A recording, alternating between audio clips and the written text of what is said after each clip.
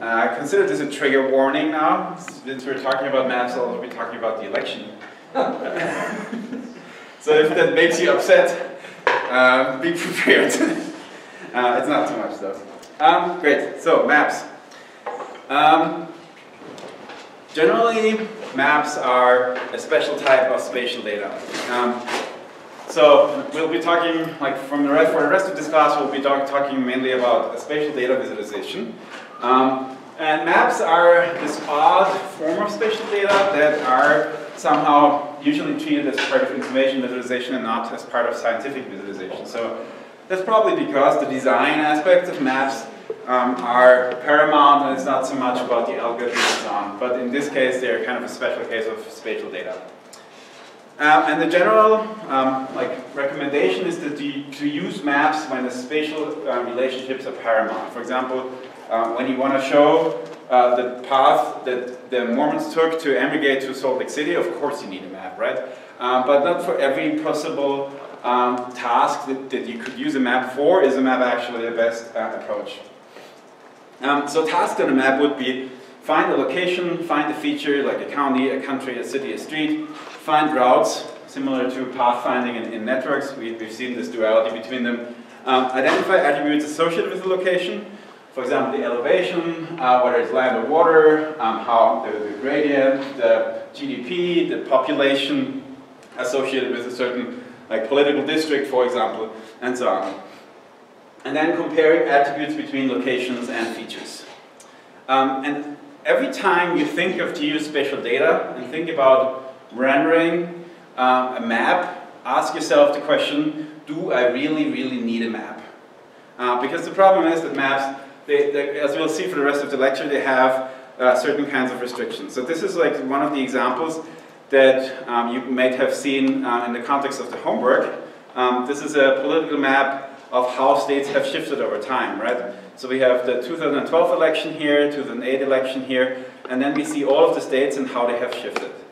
Um, and so, like for this, we, we, like you could think of this as a map, and you could do this with small multiples, with various maps and color coding and so on but it wouldn't be as efficient as communicating the swing here. Um, so here you can vary, for example, like Utah is an interesting case, of course, because um, it voted pretty, uh, let's say for Utah's, um, for Utah standards, it voted pretty democratic uh, when Obama ran against McCain, and of course when Obama ran, ran against Romney, we see the swing uh, back out to very Republican voting. Um, so like here um, we have so much information associated with every single um, political or area, states in this case, that using a map here wouldn't be great.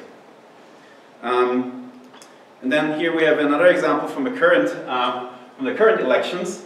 Um, here we have states, and we could show this information how Trump and Clinton um, have won these states. Uh, we could show it as on a map, and of course it's important to show it on a map, but here we show so much information for example, we show uh, the percentage of vote, this was already counted, the reported margin, the projection by the New York Times, the win probability, and then here it actually shows us these, um, these projections plus minus a certainty, like an interval of certainty. And conveying all of these data points on top of a map is really tough. And so it, it any, like most of you guys, you don't know, you don't have to know, or you don't have to see on a map where New Hampshire is to know where New Hampshire is, right? For, for states that you're very, very familiar with, you don't actually need to show the map to convey the information here. So ask yourself whenever you uh, work with uh, geospatial data, is the spatial context paramount? And of course the answer is going to be yes for many cases, but I think that maps are a little bit overused. Um, so that's how, um, uh, the, for the rest of the lecture, however, we'll assume that we'll be talking about maps specifically. And so when we talk about map projections, like map projections are of course the, the most like the, the most fundamental part when we think about maps. So why do we need a projection? Well, um, for um, if we want to project the Earth uh, onto something uh, two-dimensional like a screen or paper, we somehow need to unfold them. You don't have the problem, of course, if you have a spherical display or if you have a globe. Uh, but whenever you have like a planar display or paper, then you need to uh, project the, this, the globe uh, onto, this, um, onto this plane. Um, and so uh, there are, like if you think about this, you can come up with a couple of relevant attributes. For example, these projections, similar to what we had with graph layouts, there are different criteria that you want to optimize for, but not all of them can be achieved at the same time. So for example, uh, we can try to optimize for preserving area, for preserving shape, for preserving direction, for preserving bearing, for preserving distance, for preserving scale. Um, but we cannot do it for all of them at the same time. Um, I do like this XKCD comic here uh, about what your may favorite map projection says about you. Um, so just, um, I recommend, this is too much text of course to talk about here. Um, a globe, yes, you're very clever, uh, it's my favorite one. Uh, but take a look and read this, this is quite informative. Okay, um, the like most commonly historically used projection is the Mercator, Mercator projection. Mercator projection was developed in 1569. Um, the idea is to um, project uh, the, um, this, the, the, the, Earth onto a cylinder. Um, and it's a conformal map projection, that means its angles are preserved, and you have lines of constant bearings corresponding to straight lines. So for example, if you want to sail from Asia to South, um, uh, South America. Uh, you kind of like only need to calculate your wing, uh, your angle, plot a straight line, and then you can follow that. So it's a it's a great map for uh, sailors, for seafaring um, um, use cases. Um, here is an example of the Mercator projection in D3. Um, you have used um, D3 projection, so I'll not be talking too much about uh, the implementations. Uh, and here's the Mercator projection of the Mars. And notice that the circular craters appear circular on, on this uh, projected image here. However, Mercator has certain problems. Um, uh, especially, it has like cultural biases. It's like this traditional map that, that was used to teach geography. Um, it made, like, however, it distorts massively area that is distant from the equator. Because if you think about it, since we're um, projecting a globe onto um, a cylinder, everything that is far away from the equator gets more space. Um, and so it's considered to be unfair to the global south, making places that are mostly trees, snow, and better off white people look huge, and the places where most of the world's population lives look puny.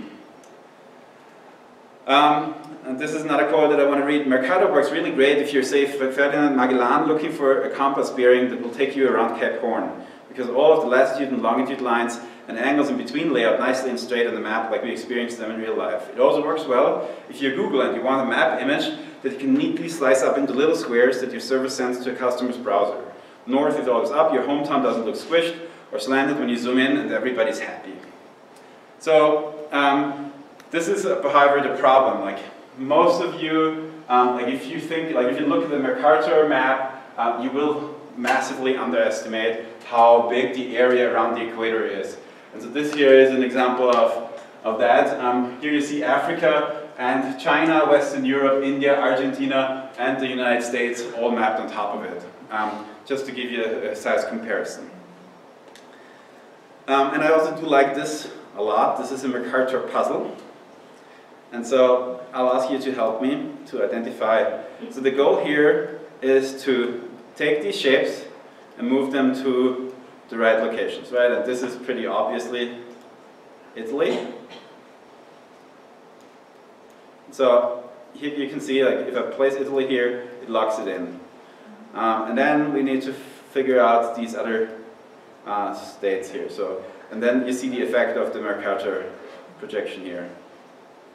So as I move it from Antarctica to the equator, you can see that this now is extremely much bigger than here. And so who has an idea what uh, country that is? Kazakhstan. Kazakhstan, yes. So Kazakhstan looks a little bit bigger. And what do we have here? That could be, no. Yeah. Yeah, the hardest ones for me. Yemen. Yemen? Yeah. Can uh, I have to Oh, wow, yeah, so this is like, like a classic example, right? It looks tiny here, but if we move it up here to Europe, Yemen is bigger than Germany and France. That's Somalia. Somalia?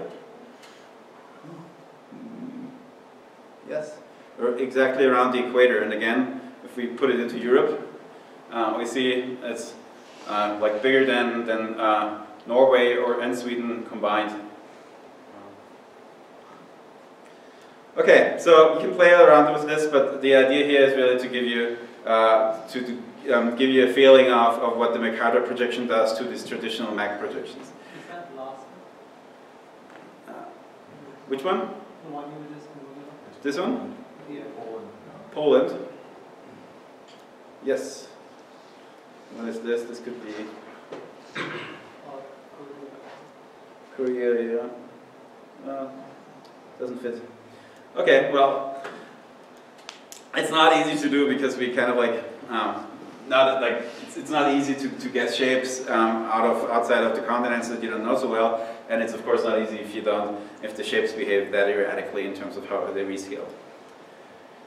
Um, so here is an example um, of Aust- Australia, and so you can see that Australia is actually much bigger than Greenland, for example. Um, the caveat about like Mercator projections aren't inherently bad. Um, they are only a problem for large areas when you want to visualize continents or the whole world.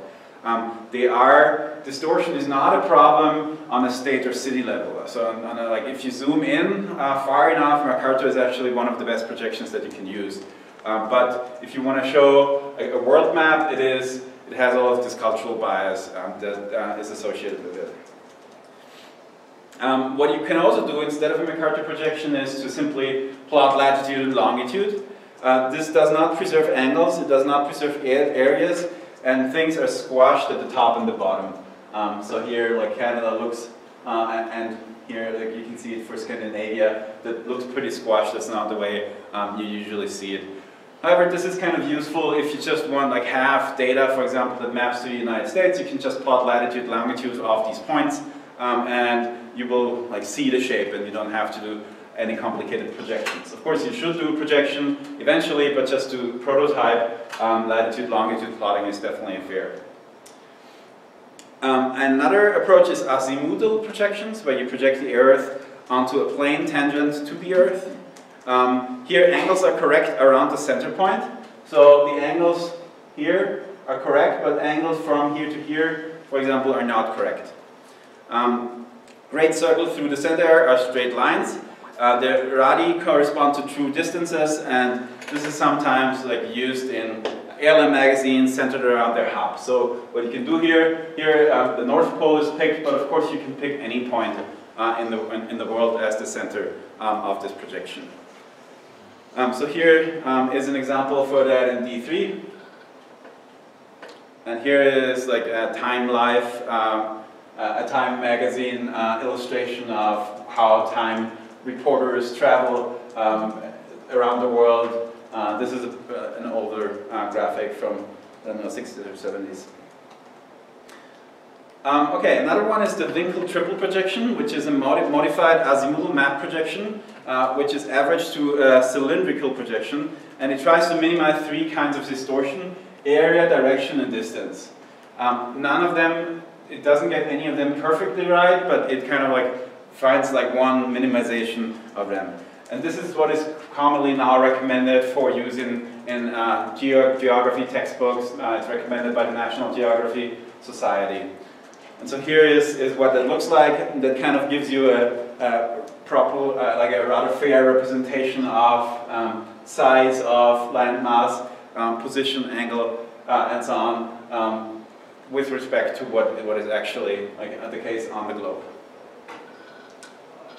Um, this shows um, circles of equal area on top of the projection, so you can see um, how they are squished and how the, how the uh, areas are distorted, and you can see um, that like on the outside, of course, there's more distortion, and here on the outside there's also more distortion, whereas here at the center there is little distortion. Um, then there are maps that are, that are created specifically for um, for uh, certain regions of the Earth. For example, this projection Albers equal area um, shows the area correctly, but it distorts distances and shapes, and that's kind of commonly used for uh, the United States map. Um, this here is a really interesting project. So, like as I already mentioned for the Mercator projection, the optimal projection depends a lot on your zoom level in a map. Um, and so these guys had the great idea that they can build a tool that does adaptive projections. Um, so this is actually live.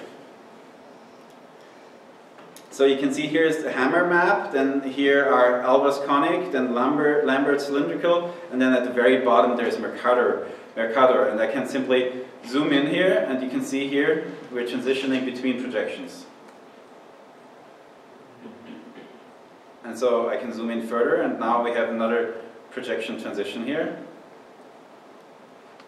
And on the Mercator level, you see how that flattens. and for the polar aspect, there's like a, and then uh, a, a, separate projection that you can see, like the transition here. So this is really neat. However, this is of course um, not so easy to do if you have a lot of geometry um, and if you have images and so on, um, like Google Maps.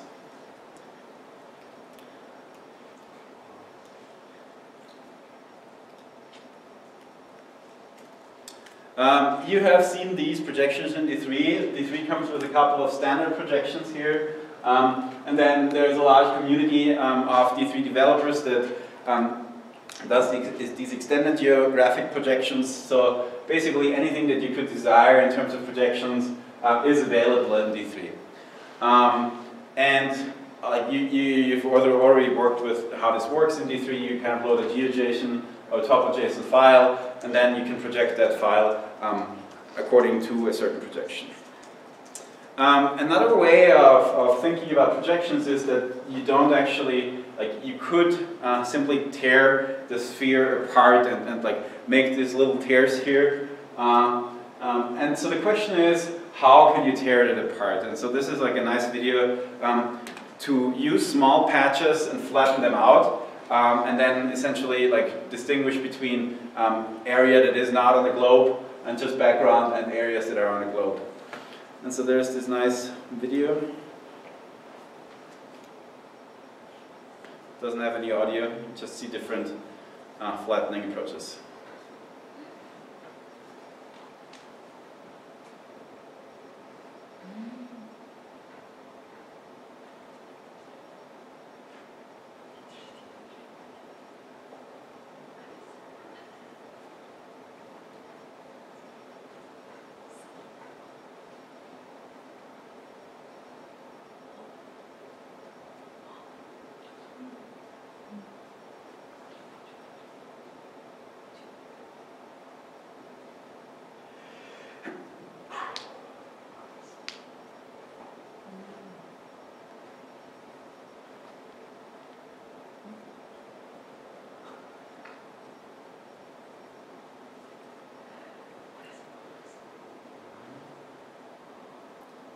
So the last projection here, the one but last is like by sea, so that all the land masses are preserved, and now it's the inverse by land, so that all the oceans are, next is the um, by land, so that all the oceans are preserved, which is then a very unfamiliar picture.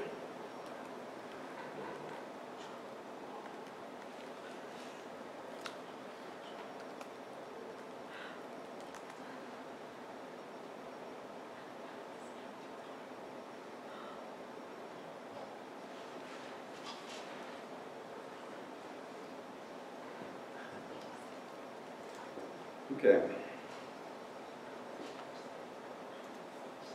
Um, I'll briefly talk about map software, GIS software, and navigation.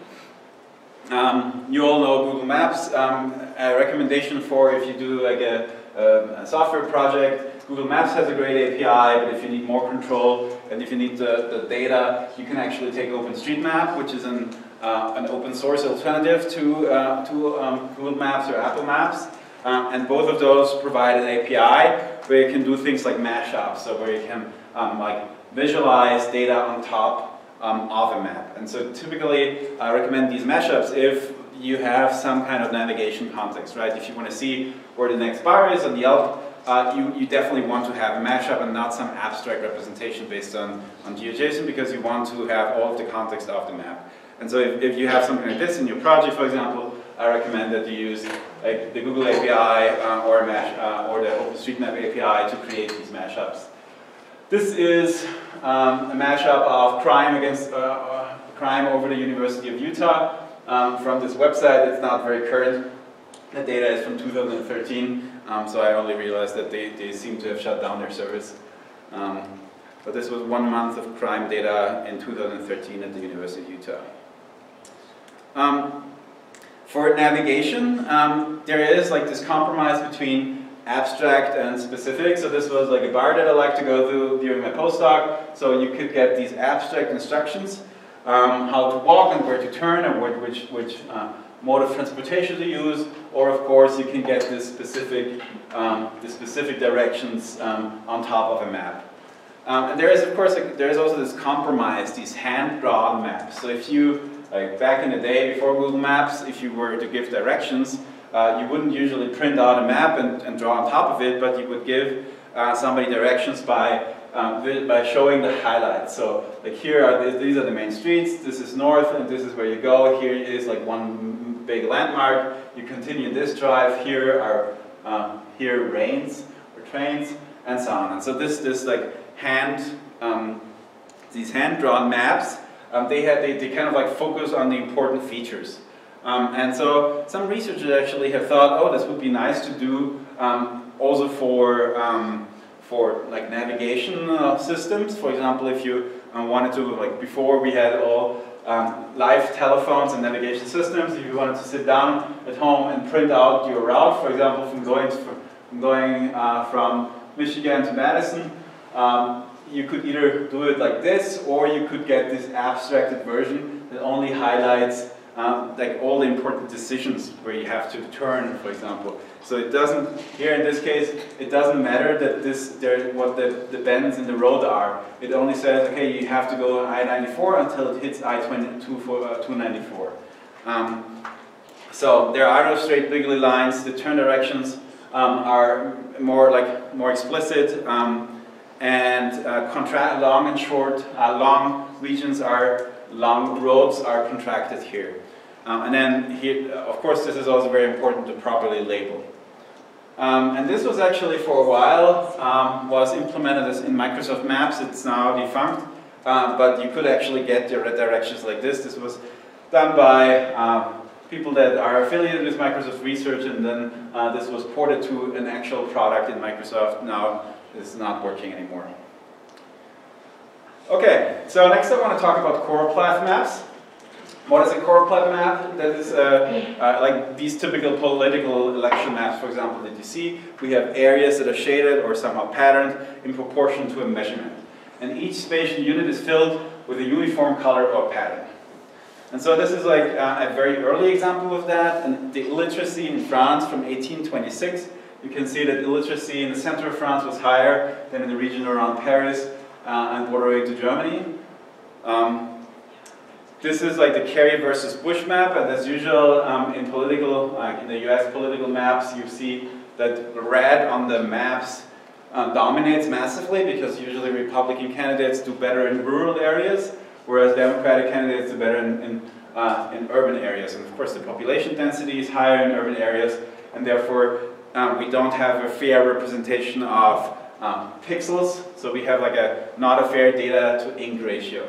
So if you, for example, um, look at the 2004 popular vote, Bush won 62 million votes, Kerry won 59 million votes. The amount of red shown in the map, however, is about five times as much. So there's this, this is kind of the lie factor if you think back about this Tufte's rule, the data to ink ratio. Ah, the lie factor, not the data to ink ratio. Um, and so another XKCD, um, one of the main mistakes that people make when plotting any data uh, on a map is not properly accounting for population density. So here's our site's users, subscribers to Martha Stewart Living, and consumers of foreign furry pornography. All of them show the same distribution, uh, and all of them show essentially only population density. So it doesn't really show you anything interesting other than where people live. And if you pay attention, you will see many of those maps. Um, here is a, like an interesting map that shows you where people live in the United States. Um, so you can see that, of course, the east is much more densely populated. The northeastern corridor with New York City is the most densely populated area on the East Coast, and then like the uh, um, Bay Area and Los, uh, and Los Angeles are the densely populated areas um, in, um, on, in the West. And you can see for Utah that Salt Lake City towers supreme above all the rest of Utah. Um, you could um, do this by county, and you can like you can like it doesn't necessarily have to be like a win-lose map, of course. You can show um, uh, the percentage of the vote that goes to certain people. So we have here a color map. Um, you could also like consider population density. So for example, here um, for unpopulated areas, you show it basically in a very, very light white. So this gives you kind of a better feeling for um, how the votes are distributed uh, for this particular election. You still can see that red dominates, but there are these like very dense blue clusters. So I would argue that this is probably a like a more a fairer depiction. Um, one approach to actually solve this problem um, is to use a prior and then show the difference. So here um, is a data, a data set that is, um, first this is the original raw data, event density of mischief in Canada. Mischief is property damage, for example, vandalism in Canada.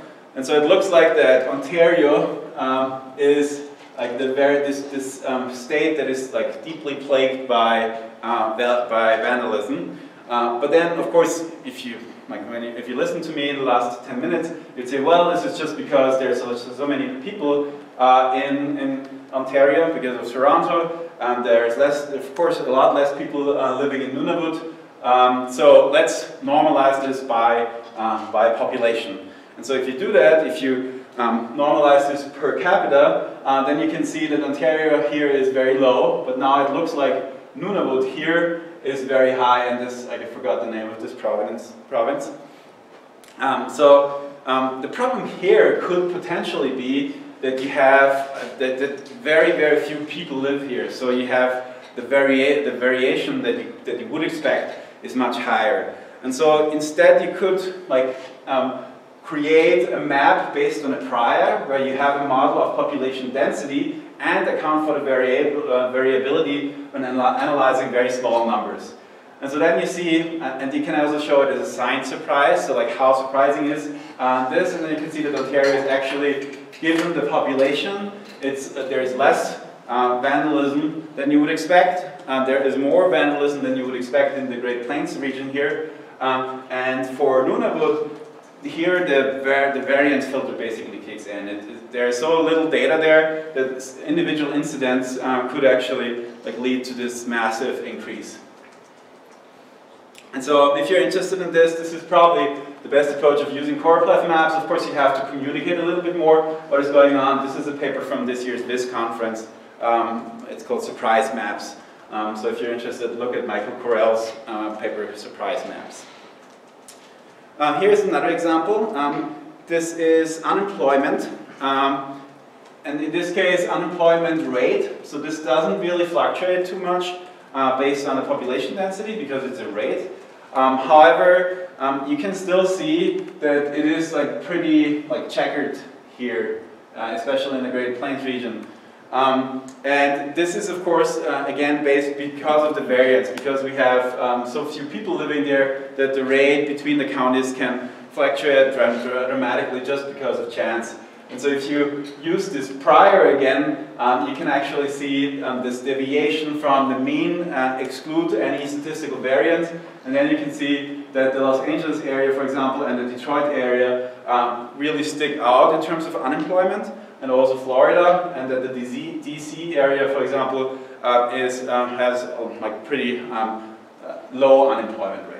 When you're talking about using a prior, is that a statistical term? Yeah, all it is? It's, okay. it's a Bayesian prior in this particular implementation, but okay. you can use any like um, model and show the difference to the model. So instead of showing uh, the raw data or some simple measure, you can actually find a statistical model and visualize the deviation from that. Um, this is my favorite choropleth map. Uh, it's um, the density of bears in Finland visualized as bears. So it looks like in the uh, eastern part of Finland, there's more bears.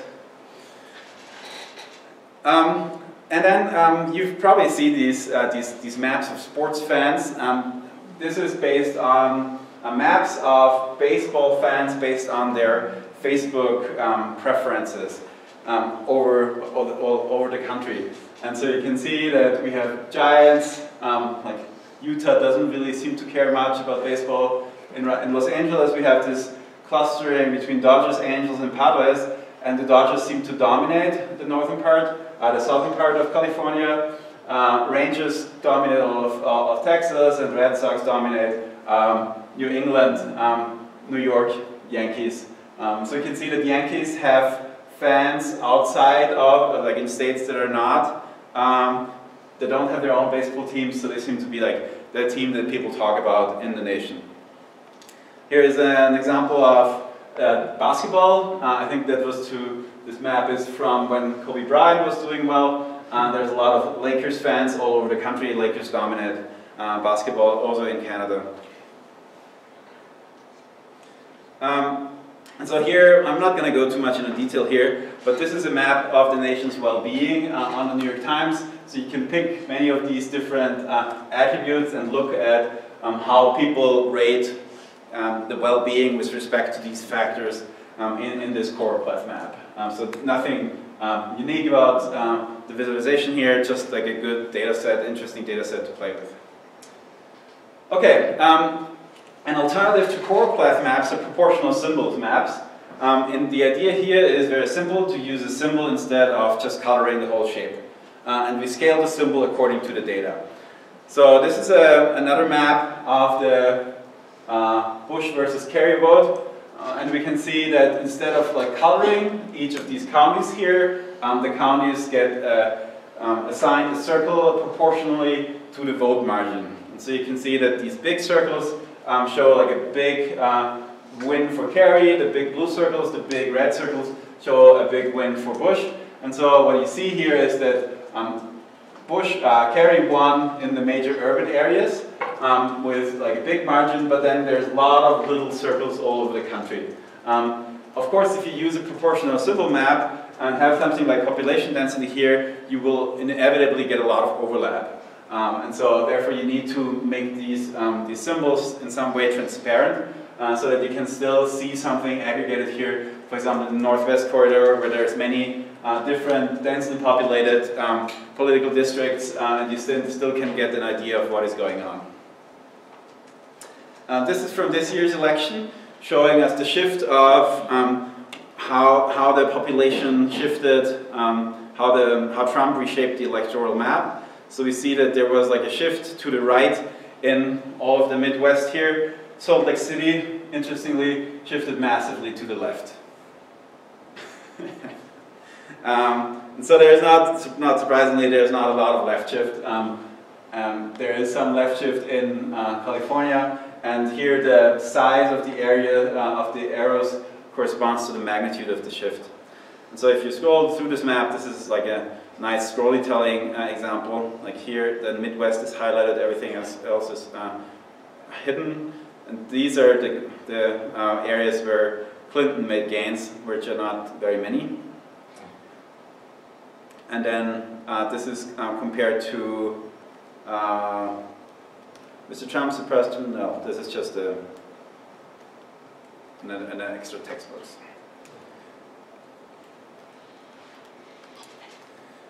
Um, this is another visualization of the same thing, but at Washington Post. Oops, I forgot to add the link. Oh. Um, yeah, I'm not to search for that now. Um, they, they use a bit of a different encoding. Um, they, so first they actually, what is very unconventional, um, they flipped the map over so that it doesn't point north. So here's north, so that east points up. Um, and then they show these like mountains to show the magnitude. Um, the height is the total vote cast, the width is the margin in net votes, the color is of course the party, and the stroke strength is um, the, the percentage. And so essentially each of these um, these glyphs here encodes a lot of variables and you can sit down and study this uh, in detail. And, and not surprisingly what you see is that the, the small population, uh, the, small population areas have this like strong um, stroke width uh, that kind of show that um, they had a Republican landslide there. And you can actually scroll this and there's a lot of nice annotations and so on. It's I'm not, sorry, it's the stroke width, not the width of the triangle. The stroke width, yes. The stroke width is the thick stroke is a county one in a landslide, and the width is the margin in net votes. So it's both actually. It is also Yes. Okay. Uh, it encodes both. Um, um, here's another proportional symbol map um, of people that um, applied for FEMA assistance after Hurricane Katrina. Um, and you can see that how how um, victims of Katrina had this diaspora that um, drove them out of uh, the New Orleans area and into all, all, of the country, including California and the whole eastern seaboard. Um, of course, in this case, people still tend to stay locally, so we have this extremely uh, dark black uh, area down here. Um, here we see uh, an interesting distribution for John Kerry versus George Bush in New York City. So you can do this, of course, also um, in, in, in, the smaller, um, on, a smaller scale. And you can see that in Manhattan, that on the west side uh, and in downtown, uh, John Kerry actually had more support versus the east side. Uh, John Kerry had more support on the, yeah, in the, uh, in downtown Manhattan and on the uh, east, uh, west side versus George Bush had a lot more support um, east on the, um, on the east side. There are people making fun of these uh, proportional symbol maps. Of course, they have the disadvantages, especially in the Katrina example. Um, they look fancy, people like circles. Uh, I would argue that they are probably better than just a plain choropleth map, but of course there's a lot of occlusion going on in, in dense regions.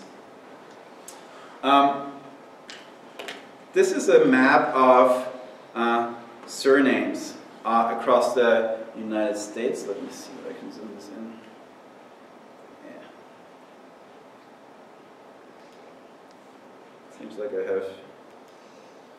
Oh well.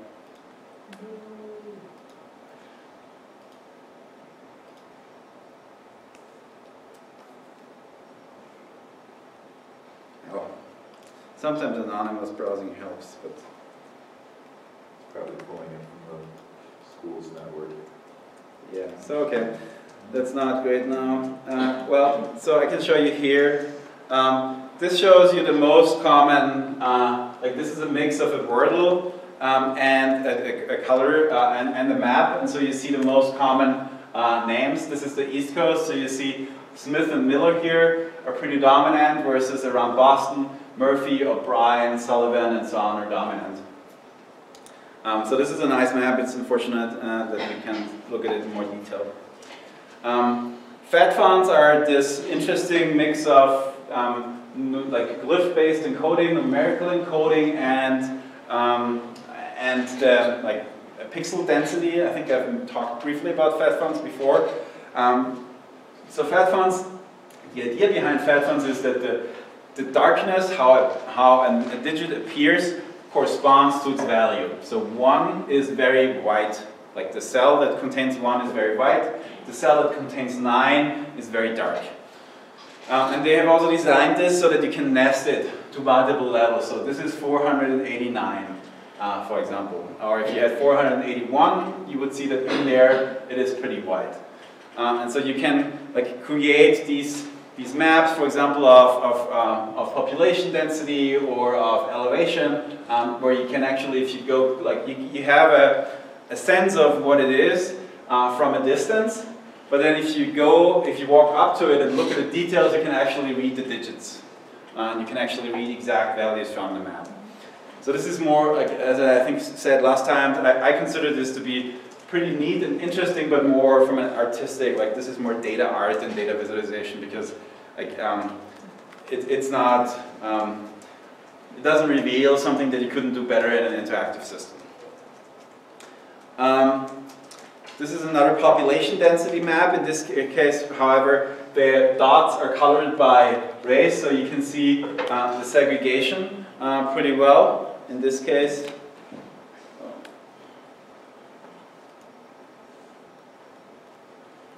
Salt Lake City is probably not very interesting here, but in New York City, um, you can see this segregation uh, by the races.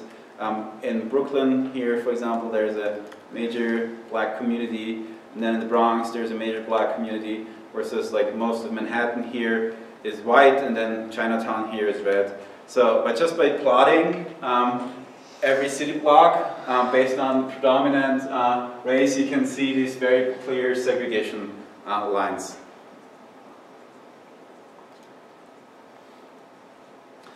Um, then um, this is well, uh, this is a map that was published after the, the Connecticut school, school killings, and I'm mainly showing this to kind of make you think a little bit about the ethics of visualization. Um, because, like, you could say, well, this data is publicly available. This is like um, Freedom of Information Act. A lot of U.S. government data is publicly available. You can look up all of your professor's salary, for example, if you want to in Utah. Um, but you can also look up who owns a gun in your neighborhood. Uh, however, this is a little bit tedious to do. You have to go to a, some government website, you have to put in a, like, a neighborhood and so on. Uh, but somebody has created a scraper and now published this map um, where you can zoom in and see all of your uh, all of your neighbors. And this map was extremely controversial because you could look like who uh, who in my neighborhood is a gun owner. Um, so is there a distinction, and I'm not going to answer this question for you, but if data is public, do you also have to think about how you make it accessible? Is like this level of access something um, that, that, that you need to, like where you need to kind of um, think about the, the ethics of journalism? Um, and the, the people that actually um, posted a map, they got into pretty uh, serious trouble with their um, newspaper um, I think one of them actually was fired, but I don't actually remember in detail, so you can go to this blog here and read about this case. Okay, doing time? Um, so contour or um, maps, um, like here we show something with, with this line. So this is an early map uh, that shows um, lines of equal magnetic declination, which is of course important if you uh, if you want to use a compass while you're at sea. Um, this is also like this from 1701. This is also uh, important for wind. So this, these are major wind patterns in the oceans. Again, very important for sea uh, faring. Uh, and, and, then here, what, how this is visualized is with these hatchings. And so the hatchings here, uh, we'll, we'll, you'll see that more in flow visualization. Uh, these hatching here, they indicate um, the direction and also the intensity of the wind. Here is a, a live example, which is done by, what's that?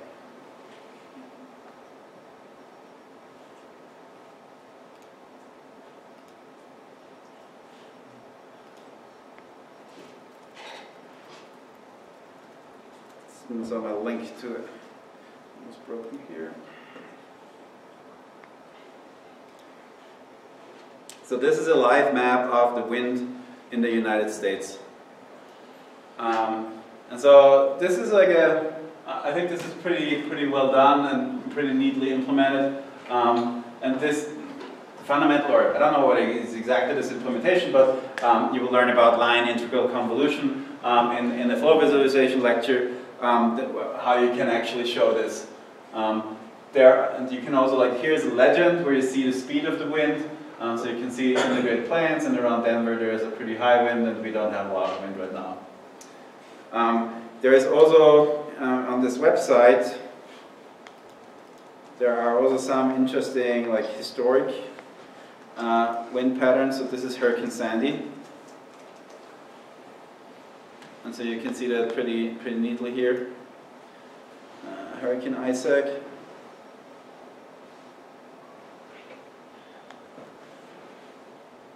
and so on. Uh, and then you use these contours also to, um, to visualize elevation in topographic maps. Um, and so, I don't know, you guys, some of you are probably hikers or climbers. um, or mountain bikers and so on, and then you're uh, probably used to these maps where each line corresponds to a certain change in elevation, and then fatter lines correspond to like a major change in elevation. So here we are 1,000 feet, 900 feet, 800 feet, and so on. Um, here is another um, contour used here. This, this map shows the forecasted path of the hurricane plus some uncertainty around it. Um, so this is like this, this way of visualizing um, uncertainty with, with visualizing these bands uh, on top of maps is, uh, I think, pretty neat. Okay, so I have a map-based design critique today. Purely static, you don't need your computers.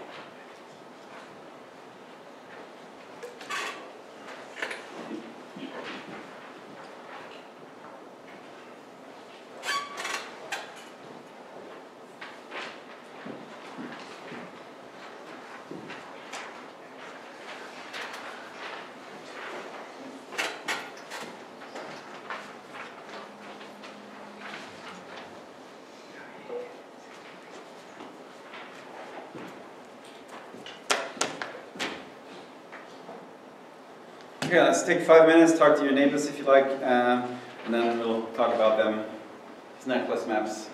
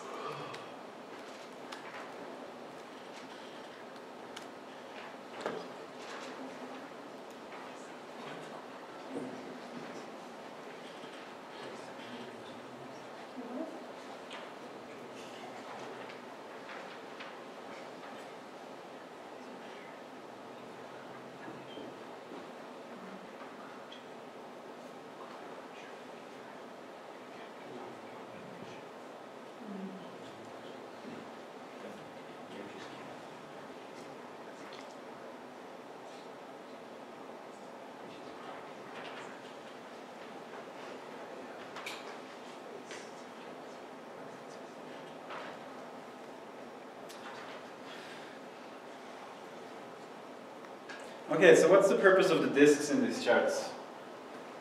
expresses the magnitude of the number of uh, illegal immigrants. Okay, and why do you think um, they use discs here? Because the uh, maps already have a uh, area, so you need something else where this is. Exactly. So if you want to use size as your visual encoding and not color, then you can cannot um, do that on a map. So the idea here is to use this distance instead. And so what is the problem? Why do we need to do this? Why can I use just like color value or saturation? Because the area of the state will bias um, uh, your interpretation. Exactly. So it, it tries to address this problem that we talked about for choropleth maps. So my like an example that I like is that Austria, my home country, is like a tiny country in the middle of Europe, but we're good at Winter Olympics. Um, and so when we visualize the medals, the number of medals in Winter Olympics, like Austria gets this big bubble. Um, if you look at the paper, there's one in uh, there's one example in there. Um, not so good for Summer Olympics. Um, so here we see this like illegal immigrants map and then this migration map. Um, what's the purpose of the colors? Just to label the states. Yeah, and so um, we have said that color, there's only so many that we can use. Um, how do we get it, how do, do they, these guys get around this here? Labels. Different circles doesn't matter if the color is repeated. Exactly, and so how do, we, how do I know that, for example, uh, Colorado here uh, corresponds to this one, and New York yeah, up there with the same color, same size corresponds to the other one? Proximity. Exactly. So they like this is a layout algorithm that uses these circles and tries to put them in proximity of these maps. Um, why do you think they are arranged in circles? To show spatial relationships between states in a rough sense. Yes. Um, any other interpretations? Why not just like some other positioning as we like as we've seen with the with the election maps where the circles are directly on top of a state? Uh, It's sort of maintain, uh, like, it's easier to maintain proximity. Say, for example, you take the center point of all the states and then, Yeah. so that you can move the circle around all the circumference so that becomes. Exactly. You said something? It's also to get rid of overlap. Exactly. So that's one of the problems of pro- proportional symbols map, right? The overlap, and so this gets rid of of overlap. Um, then, uh, what is in this other chart here? Again, the migration chart.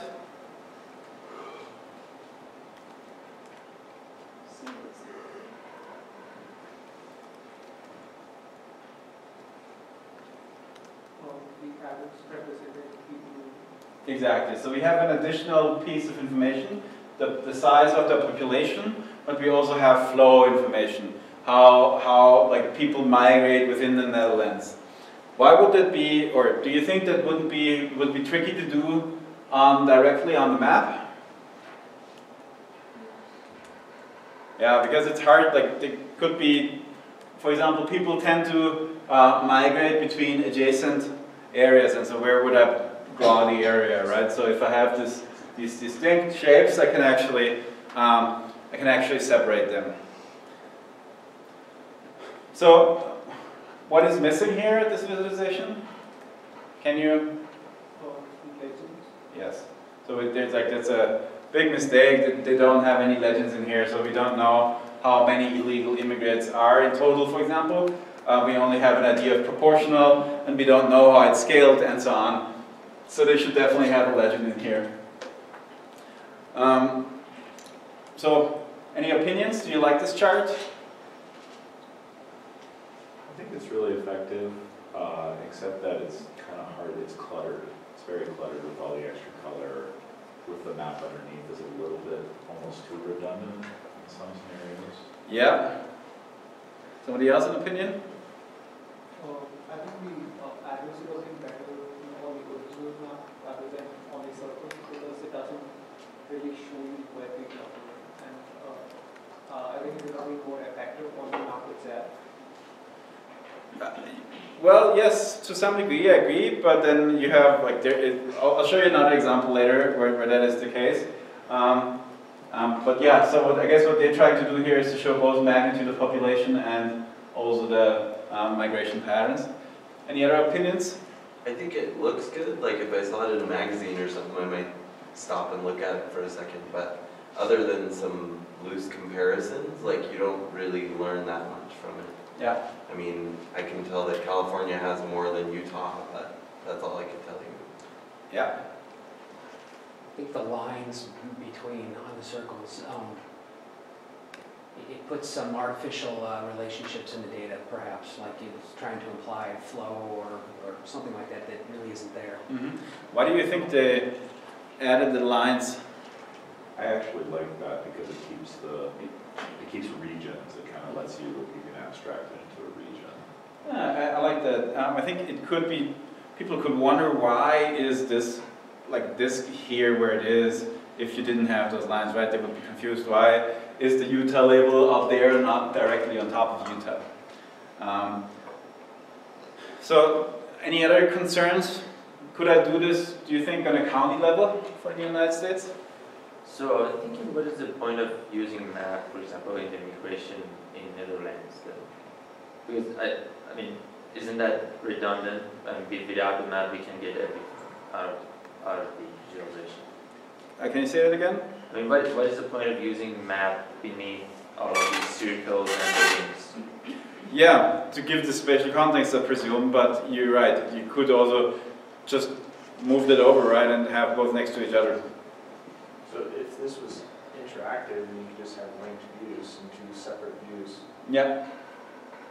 This is a static technique, though. So um, this was a paper, I think, in 2010. Uh, it's called Necklace Maps, um, and I, I think it's kind of a neat idea. But then I don't know um, all of these issues that you guys said, and I, I personally don't know whether you wouldn't be better off just um, not trying to do this on top of the map if you have complex data, as you, as you said, um, like this. Um, but there, I'll have another example for that. So yeah, um, it's one interesting approach of doing that, um, and this kind of leads me to um, the next um, uh, to the next um, section of this lecture, which are um, the necklace maps themselves and also cartograms. And so, like this idea of having uh, areas that are disproportionate to to what the data they represent, uh, people have tried to uh, tackle that by, by using these distorted shapes. Um, so here is a cartogram of internet users, uh, and you can see that the United States here is big, Canada compared to its landmass doesn't have a lot of internet users. And so you get the idea of cartograms here is to like show you like r- give you a rough spatial context, but then use the like distorted um, and then uh, to, to map the variable. The problem with that is of course that um, you get like if, if you have low data like this, um, you get these very thin slivers. Uh, in the necklace map here, for example, that works much better. Um, so you can actually visualize this much better. Um, so we'll talk more about these cartograms in a second. Um, the idea here of cartograms uh, is to not scale by um, not scale by distance, but just to keep a rough distance and instead scale by some data. Um, so here, these are um, cities of the United States scaled by their price, like how much it costs you to fly there from Atlanta. Um, so, well, I guess you can see that flying up to Green Bay is a lot more expensive than flying to New York from Atlanta here. So it tries to preserve some of the geographic uh, context, uh, but it um, it includes like, uh, uh, but it, it is scaled by by some other measure. Um, so this is try, like trying to compromise between um, between um, the data and the geographic positions. Does anybody have an opinion on this? It's, these lines are maybe too much information for me again. It's just, seeing the city's distance seems useful, but seeing all the state lines is really kind of getting in the way of comprehending what's going on. Yeah. And it also defeats the purpose of using the map. The purpose of using the map is, uh, it's showing people something that uh, they're familiar with. and when you distort it, you are uh, removing the information that they have, already have, and it doesn't really help. Yeah, exactly. So this is a big problem for these cartogram approaches. It's like they try to do two things at the same time, and they have to compromise on both. Um, here are other examples that are, I think this is like um, scale the area of a data. I think this is maybe a little bit better done because it doesn't, um, like we have these familiar shapes uh, that, that are preserved here. Um, so we are fine with having white space in here, uh, but we have these, these um, familiar shapes, El Elvis concert attendance per state from the 1970, it's just 1977. Um, and then like here are here's a, like a couple of examples of these these explicit cartograms. So if we have a world map like this, and then map it by population, we see uh, India big, China big, uh, Canada as usual small, and Russia very small uh, compared to its landmass. If we map it by GDP, we get this like contraction here and the contraction of Africa, and the, like Europe dominates and the United States dominate, and then China and Japan uh, dominate in Asia. If we did it by child mortality, uh, we see that uh, Africa and uh, India dominate here. If we did it by greenhouse gas emissions, we see that America, China, and Europe dominate. So all of these maps, they, they, they give us some context, but they don't really, like, they, they, they have exactly this problem of, like, we lose the geographic details. Um, we also cannot exactly compare, like, by looking at this, we don't know whether the United States emits more or China emits more, right? We have like a rough sense that they're roughly um, equal maybe, but it's, it's hard to compare in detail. Um, here's a Kerry versus Bush map scaled. Um, I would probably, if you showed me this map and didn't tell me that's a map of the United States, I would probably not recognize it. Um, this is like a blob. It's an inkblot test. Yes. Russia.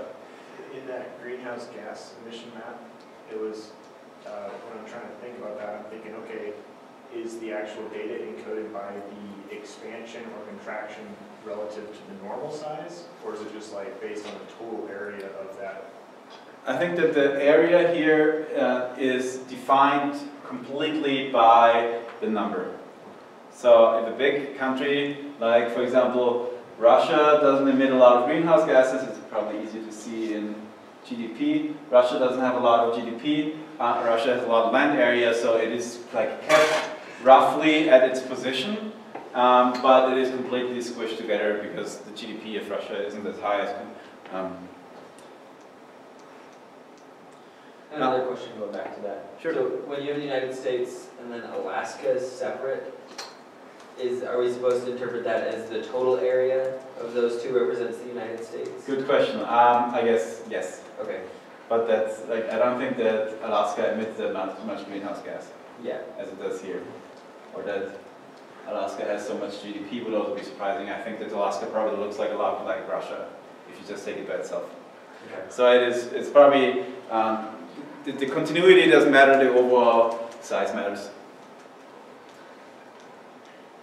Um, you can do this as rectangular cartograms, as, as like word population here. Um, this is drawn by hand, or you could do something a little bit like you did in your homework um, to like just have approximate positions. Here, this is by um, counties probably. Um, Bush versus Kerry, uh, these rectangular diagrams. And I would say that this is like maybe like giving only this rough context, like you did it in your homeworks, makes a little bit more sense um, than trying to do these very distorted cartograms. Um, this is an example from the New York Times um, where you can like actually, but this is used where you can also browse through various different examples. In the interest of time, I'm going to skip over this. So, but here you can see like this is based on uh, how how much is being purchased in which country, um, and so um, I think that's a pretty like uh, interesting uh, representation. And for the selected countries, I think it works pretty well. Okay, next I want to talk about flow maps. Um, this is an example of an early flow map of transportation of passengers in Ireland, and not surprisingly, this heads towards Dublin. And so, what we're interested in flow maps is some kind of geographic relationships of, for example, how people are shipped, how people move, how goods are shipped, and so on. And I'm sure you remember all from high school geography uh, education when you saw like all of these major trade patterns across the world uh, on, on, on, maps. Um, these, these are the kinds of flow, um, flow maps that, that you'll see. One of the famous flow maps here is this, this, current, this, this um, flow map by Minard that shows Napoleon's campaign of Russia. And I showed this to you in the very first lecture. Um, this is kind of a very ingenious way of combining spatial context, of um, combining the size of Napoleon's army, their locations, and then annotating it with special events. Just to a quick recap of what this shows. Is like here, um, the width of this stream here represents the size of Napoleon's army. Whenever they branch off, then the army split off to like go on a sub-campaign basically. Um, and so they were marching towards Russia, uh, towards Moscow, and you can see all along they, they lost a lot of men uh, in their campaign. And then when they like, tried to conquer Russia, um, they actually didn't lose a lot of men. And only in their, like in, on the way there, in the retreat, you see that more and more men were lost and that there are, like here, this, on the retreat, there was like a terrible winter and this is also juxtaposed here with temperature. Um, and so you can see that it was really cold and that's why people suffered massively here. And then like, at the river crossing, about half of the remaining army perished. Um, so this is like an interesting example of a flow map that is like handmade and that's considered like one of these historical gold standards of visualization. Um, this is the uh, flow map of the effect of the US Civil War on cotton trade. So before um, the uh, Civil War, um, you can see that the United States exported cotton massively to Great Britain. Um, and then right after the Civil War, this completely died off. And so instead, they uh, imported um, cotton from Asia. Um, here is like a life uh, or an interactive map of um, migration. Um, so here, let's see where it does work.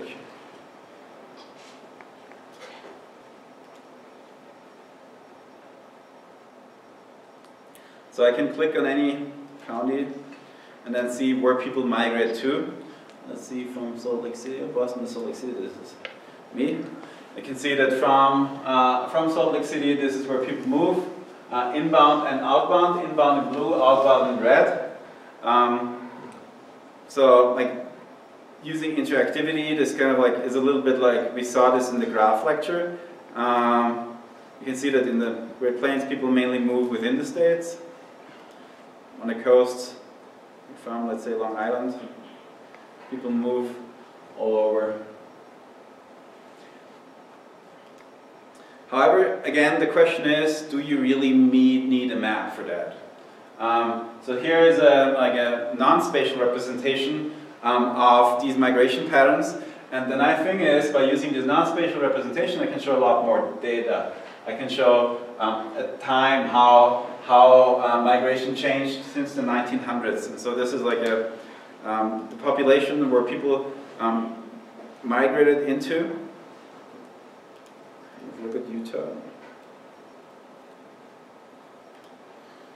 So where people born in Utah moved to, and so you see that in the 90s, like the majority of people that were born in Utah stayed in Utah, moved to Idaho, moved to California, moved to other states in the West. So either people that were born in Utah predominantly stayed in Utah or moved in the West. There's not a lot of people going to the East, not even now. Um, and you can actually switch migration into Utah. And you can see that uh, there's only 60% of people um, that were born in Utah nowadays. The proportion was higher around the war. Um, and then we had this uh, high number of people, like 20% of people that were uh, that migrated to Utah were not or were born outside the United States, and that's only at 9% right now. And again, you can see that this pattern is like mainly uh, from the West. And there is other states, for example, I'm sure that California, for example, has like a much different um, pattern. So this is for every state.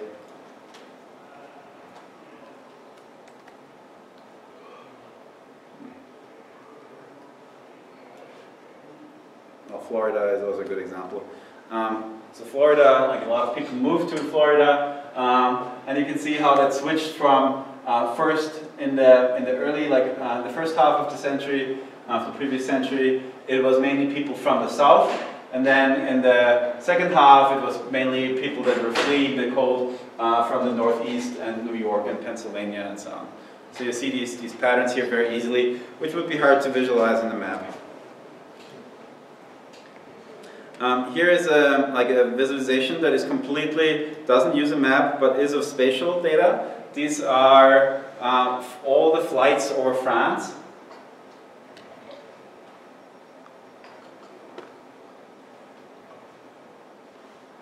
And the interesting thing here is that flights, of course, have three-dimensional information, right? So we have the elevation of the planes, um, and we also have the position and, and, and speed and all of these other variables. And so in this tool, they can actually um, transition between uh, position, um, like position on, on the map and elevation dynamically. And then you can see that around the Paris airport, Charles de Gaulle, uh, we have this massive clustering. And now this is dynamically mapped to the elevation. Now here altitude is mapped to the y coordinate in the screen. Now latitude is mapped, mapped to the y coordinate in the screen again. And now this is dynamically transitions. Um, this is another example of migration data. Um, this is actually like a good example also for a fixed graph layout. So here are migration patterns, um, but only for selected areas. So here, like the, um, the Pacific Northwest is highlighted, and the Los Angeles area is highlighted, Florida is highlighted, and then the, north, uh, the Northeast is highlighted, plus some like uh, Great Plains uh, region up here. Um, and so this shows you, this shows us like by color coding and filtering only those edges that are in um, that are in any of these rectangles.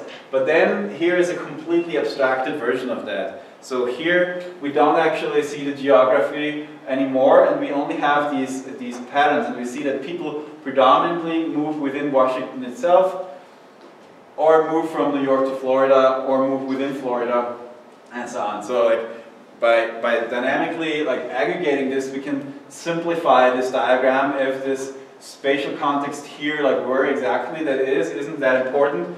We, we know that this is Washington, we know that this is Arizona, we know that this is Florida, and we can see these patterns very clearly, and then we can also visualize data uh, within those cells um, again. Okay, so um, at the end of this class, I briefly wanted to talk about completely data-driven maps, a little bit like the flight map. So where we don't use uh, geography in the first place, but just use the data that is geolocated. So um, we don't use a map to render on top, we just let the data make up the map. Um, and so here's a, uh, an example of all the, the centers of um, zip codes in the United States mapped to, uh, to um, their uh, center, like to the center of this county where the zip code that, that corresponds to the zip code. Um, here is an example of um, the census. Like there's no map here, it's just dots of people, where people live. And you can clearly see here Cape Cod, for example. Um, this is a map that connects all of the zip codes uh, as they um, uh, as they increase. So like if you have zip, code 1001, it's connected to 1002, it's connected to 1003, and so on. And this reveals political boundaries. And you also see that the, uh, like population density in some way. You have like very uh, few zip codes around here, um, very dense zip codes where there's a lot of people. Um, this is a um, data set of uh, real-time uh, movement in Amsterdam.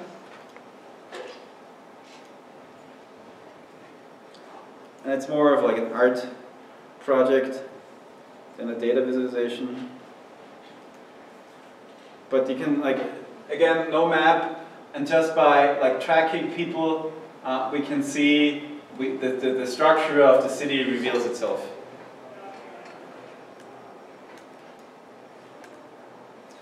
And then this is a project by Microsoft Research.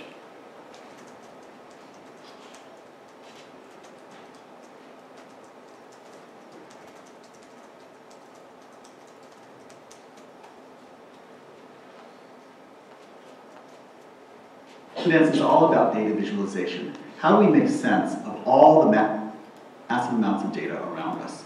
We use principles of information visualization to make it easy to understand the data and see the patterns within the data. So let's take a look at this data set here. These are actually 50,000 counties, but there's information, there's, there's structure in this data. So if we actually map it onto a map, we can actually see the structure showing up. And when we actually shift to a histogram, the motion really helps you understand the data. If we switch back to that, where they go back to. So we're going to actually look at some results from the recent election. So here what I'm going to do is map onto each county how they voted. And you can see actually the blue counties and red counties, and it looks pretty extreme. But actually it's much more nuanced than this. So if we look at a different palette here, you can see that uh, yes, it's blue and red, but it's not quite so extreme on either case. And in fact, we can even break this apart and actually look at nine different graphs. Here are the most extreme on one side, the most extreme on the other side. So if we actually select a point over here. So yeah, the idea here is really just, you don't need projections, you don't need maps, you can just use uh, geolocated data and plot it directly and then do these, these facetings and, and if you have enough data, uh, you still get like usable uh, displays.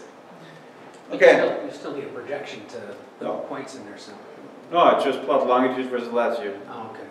So it's gonna be squished, but you can project it if you want to. You shouldn't use this on a world map uh, because you get like these effects that we saw earlier, for example, for northern countries. Uh, but for the United States, that works just fine. Like this doesn't have projection. And so you see, for example, that most projections of the United States don't show this as a straight line, the border of Canada, but show this like uh, as a like as a, a circle. Okay, uh, and so like at the very end, this is more like um, for context. There, you of course can have thematic maps. So here is like uh, the island uh, stations of the Dharma Initiative, or here we have like um, this is not real data and it's not real visualization, but you can come up with like um, maps that don't represent real geography, but in this case represent the internet in 2007. So we can see MySpace and Orkut and AOL and Yahoo and so on, and basically none of, not, nothing of, that existed back then is still here, maybe Wikipedia. Um, and like this is the updated version of 2010 and Facebook is dominating. Uh, it looks, and Twitter has some space and Skype and so on. I don't even know what QQ is. What's Happy I don't know. Probably some Farmville uh, sh shoot off like Facebook games in 2010. Um, then maps don't have to be exclusively of geography, right, of larger structures. You can also use maps of, of like indoor structures. Here's one hour in front of the television, um, how people move. Um, and then like the most extreme thematic map is like, um, this is London, very rich, and then the losers. Uh, so that's it for today. Uh, next week um, we will be start talking about scientific visualization. On Thursday there is a guest lecture for everybody who's watching online. Uh, our guest lecture on Thursday doesn't like to be recorded on video, so you will unfortunately have to miss this.